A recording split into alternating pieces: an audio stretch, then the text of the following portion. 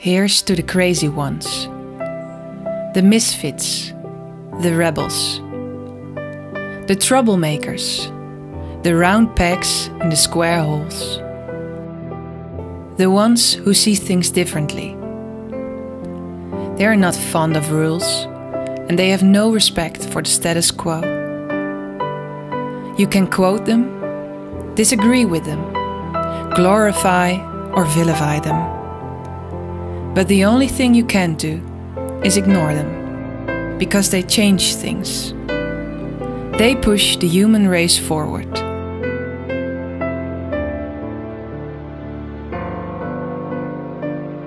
And while some may see them as the crazy ones, we see genius.